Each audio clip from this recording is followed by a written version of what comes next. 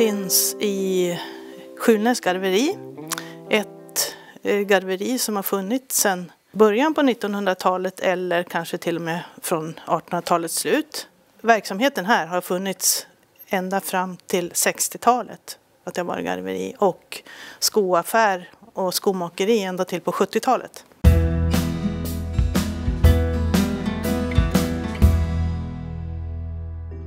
Det är mars 2023 när vi besöker det gamla garveriet i byn Skjulnäs utanför Piteå och vi ser hur det snart ska leva upp.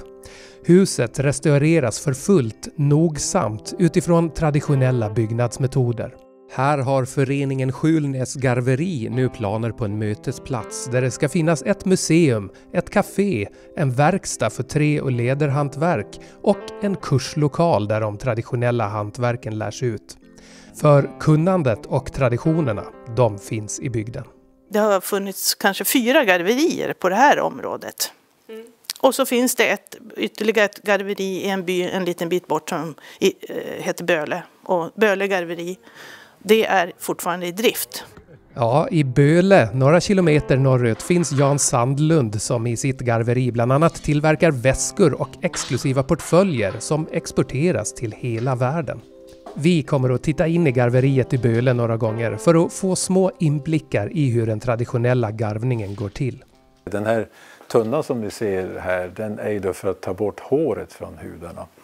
Och den roterar lite grann eh, varje dag, inte för mycket. Och eh, efter fyra veckor då släpper håret rätt så bra. Man håller den lite snett så och trycker ut och rengör narven eller på det här sättet och trycker ganska hårt. På 30-talet fanns det ju så mycket som tio garverier i Piteå och kring Infjärden. Det var tätt, man sydde väldigt mycket näbbskor. Vi har ju haft eh, grupper från skolan till exempel här på besök och de har ju varit väldigt fascinerade. De har gått förbi det här huset och sett att det är tomt och lite spännande och sådär. Men nu får de ju se och få veta vad har det här använts till och vad kan det användas till i framtiden. Men den äldre generationen de känner ju igen det här för de har ju varit här och köpt skor. De har varit här och lagat skor. Och här kommer det då en halv hud.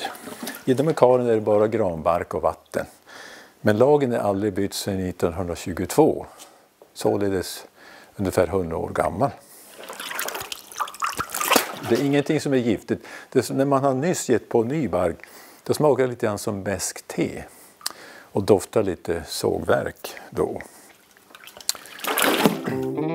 På loftet i Skjulnäs står delar av en vandringsutställning, det första projektet som blev till med hjälp av bidrag från Riksantikvarieämbetet. Utställningen har stått i Piteå både på biblioteket och i två olika gallerior. Den blev startskottet och sedan har satsningen fått stöd även av EUs landsbygdsfond, Spira Mare, Piteå kommun och Länsstyrelsen. Den här utställningen berättar ju att man producerade massa näbbskor. Det visas lite verktyg, vad man använde för någonting när man gjorde näbbskor.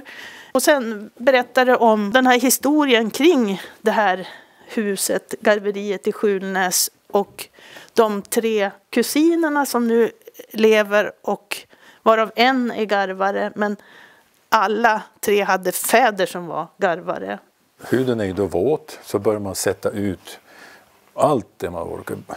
Hårt som bara den alltså. Kusinen som fortfarande är garvare, ja det är Jan Sandlund i Böle.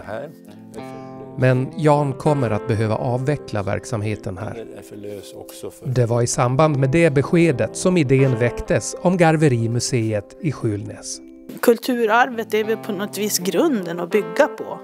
Det, det, skulle ju inte, jo det skulle väl gå att bygga något nytt och få en verksamhet. Men det skulle ju inte ha den här eh, grunden, liksom den här botten, den här klangen som, som finns i, i det här.